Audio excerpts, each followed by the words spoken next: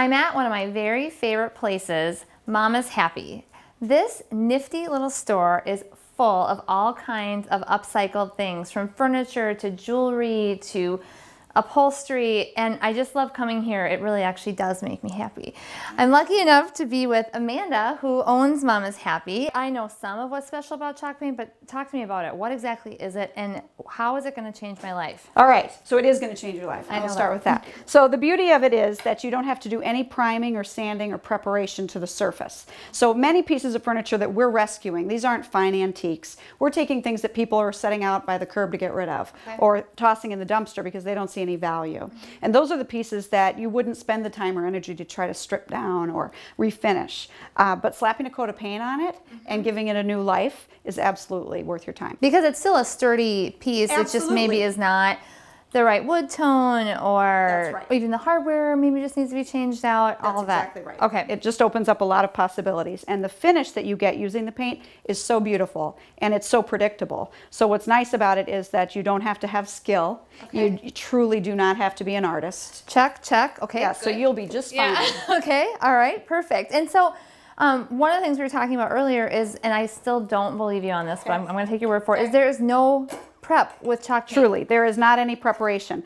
And what's what's great about that is that when you put that first coat on, it is going to adhere to any surface, no matter how glossy, no matter how shiny, it will stick to it. Well, I'm excited. Let's get started. So what we have here is a kitchen cabinet door. It looks like. Yes. Now, where do these come from? Well, you can find them a number of places. Um, cabinet shops many times will, will um, sell or sometimes even give away their sample doors Okay. or doors that had any kind of a defect. If it had a defect, that's usually the ones that we want anyway.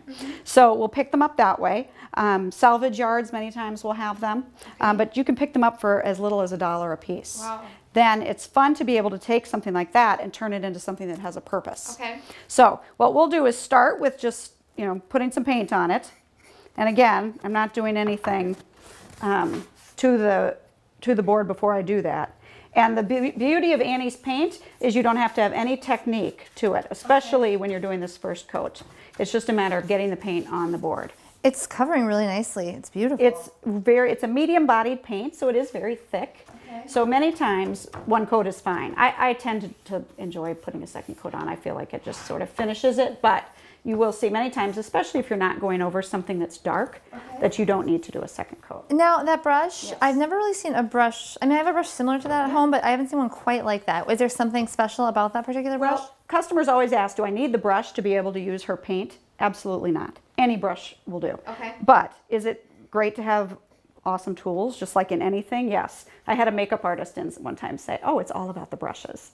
So it really is a nice tool to use, the way it puts the paint on. Um, the fact that it is so um, dense with bristles, it holds a lot of paint. So I usually tell people, if you're just planning to do one project at home, any, any brushes will do. So we get the paint on, and how long does it take to dry? It's very quick drying because it is, there are not sealants in the paint itself. It is unsealed, and so we'll show you how you use a wax to finish that. But because of that, it's very absorbent. It dries very quickly. Okay, Alright. so we'll just let that dry. I'll show you what it will look like once it is dried but has not been waxed. okay. And that's the next step is the soft wax. Now these edges are sanded. Did you, or they look to be sanded? Yes. Did you sand those down for We the did. distressing? Okay. And what's what's interesting, I just used a damp cloth to do that. The the paint wax wipes off so easily Okay. when it's dry that you can just take a damp cloth and take off as little or as much as you want. Okay. And that also controls the mess. All right. So I don't know if you noticed that there really is no odor to the paint. no, there isn't. So you can paint right in the middle of your house Okay. and not have to worry Yeah. about the smell. That's great. And so now we're going to do the wax, and the wax does what? The wax is what actually seals the paint. Okay. So when you put the wax on, you're going to brush it on just like you were the paint. Okay. And what's great about that, if you've ever worked with polyurethane where you had to get it just perfect, I have, yes. It's frustrating. it is frustrating. And if you ever get a peel or a, a scratch or a nick in it, it, it shows and then many times you have to come back and redo the whole thing. Okay, so that's how you put the wax on. And then once I finish, I'll just take a clean dry cloth and wipe just to get any excess wax off. And then how long does that take to dry? So there really isn't a drying time with the wax. It's more about letting it harden. And so over 24 hours time, the white spirits will evaporate and you're left with just the solid. But when you have the right amount of wax on, it should feel dry immediately. So perfect. I have a painted and waxed cupboard door. Yes. Yes, that's Now now what? what? Yes. So one fun idea that we have done quite often in my shops is that we will take that and then add a fun piece of hardware and make it into a tray. So in this case, you want to just make sure that you're picking hardware where the screw goes in from the top versus some hardware that's made for cabinets. It's meant to go in the back side of the door and you wouldn't want to have that sitting on your um, This is really great. Where, where would you find something like this? You know, we spend a lot of time at architectural salvage places where you can find old things like that. In this scenario, I was at an estate sale, and Lord knows why, he had boxes of hardware. And of course, for pennies on the dollar. Yeah. So I snatched it all up with no idea what I would do with it. But, you know, and then And voila. voila, here comes your need. So you just want to make sure that you pick a design that has um, the hard, the screw going in from the top. It could be decorative only, or it could be functional. Yeah. Okay. Okay. That was easy. Yeah. So in that you know few minutes time, you've got a beautiful tray. This would make a really nice gift too. It would make a great gift.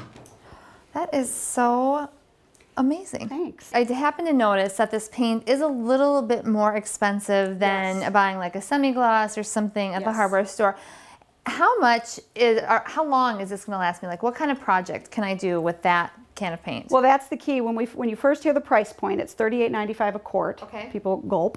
Yeah. But once you see that you should, out of one quart, be able to do an entire dining room set. So you could do your table and all your chairs out of a quart. When you think of it that way, That's not a big investment. not a big investment. Especially when you found that thing out of- on the curb. Yes. that's right. we love curbside. Okay, we've got this beautiful tray. Is there anything else you can do or any other ideas you have? Another idea, especially if we find these that don't have the beadboard in the middle but have a solid, So it's solid panel in the middle, is that we will paint the entire door with chalk paint, and then we go and get chalkboard paint. So this is the chalk paint right Correct, here, and then this is chalkboard paint. Exactly. Okay. Totally different product, meant to be written on and wiped off. Okay. And we'll paint the center with that. Here we've just added a simple drawer pull, and that would hold your chalk. Yep.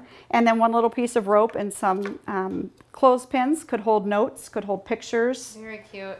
And then hang it right on your wall. I love it. So those are two easy ideas. They make great gifts.